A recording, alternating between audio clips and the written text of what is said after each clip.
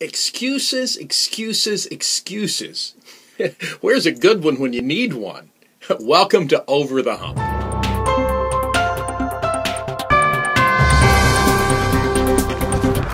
George Washington is quoted as saying, It is better to offer no excuse than a bad excuse.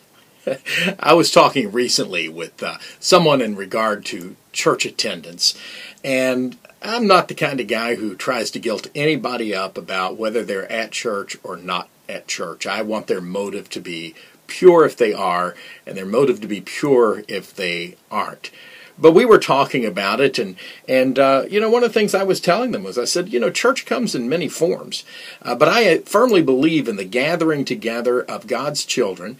Uh, it doesn't have to be in necessarily in a building or under some organization's name, uh, but that's one way that we do that, and others have other ways, and that's fine. But you know, I do believe in gathering together, but believe the Bible is very clear about us gathering together and not forsaking that. We'll talk about that in a minute.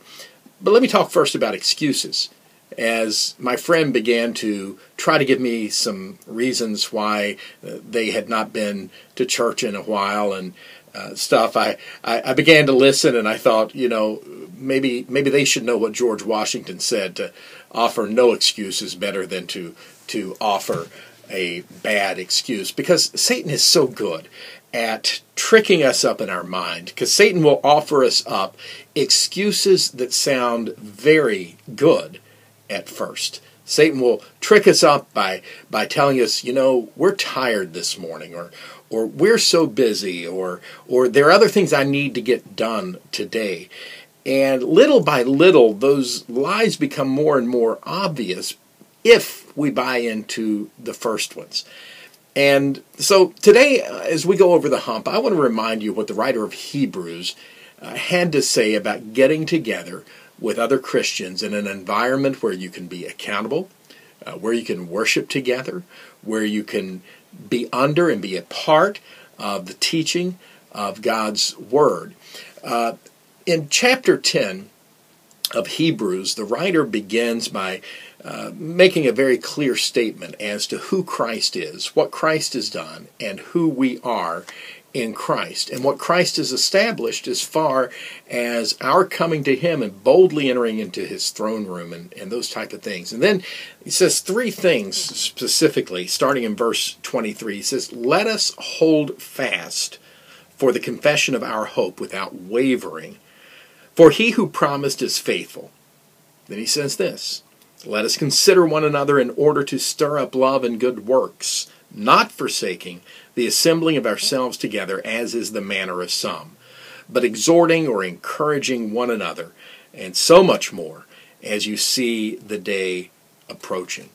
First, he talks about our firm faith. He says, Hold fast, fast to the faith that we confess. And then he talks about how we need to be encouragers to one another, how we need to stir one another up. With my friend, my hope in talking with him was not to bring any kind of guilt or or shame or any kind of thing like that. Satan will do a good enough job of trying to do that. I want to be the person that encourages them, lets them know, you know what, you you you are missed. You know what, we love you. Uh, we we don't consider ourselves any better than you are, and we're never going to give up on you. Uh, so that they know that it's not about church attendance.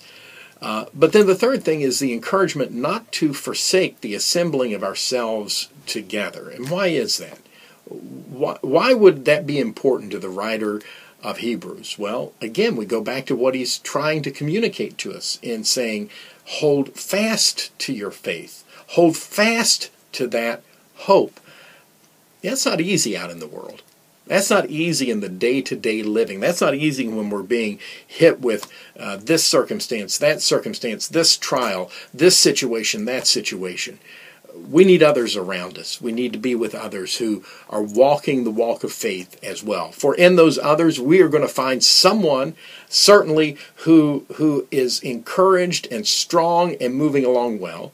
And we're going to find somebody who's probably struggling even more than we are that we can encourage. And it's in that environment that we help each other not to be swerving with our faith, but to be unswerving. And then, secondly, where else can we come together uh, except by coming together as believers in, in some place, in some time, and in some way to truly stir one another up and spur one another on in the walk of faith? the, the importance of not forsaking the assembling of ourselves together is this you're needed. You're needed in the assembly. I'm needed in the assembly. God created us, He shaped us for the very purpose of bearing one another's burdens, of loving one another, of forgiving one another, all the one another verses of the Bible. So, as you go over the hump with me today on this Wednesday, let me encourage you in this as often as you can as often as is possible. Be together with others. It's not it's not about that Sunday morning service alone. It's about the opportunities that you have.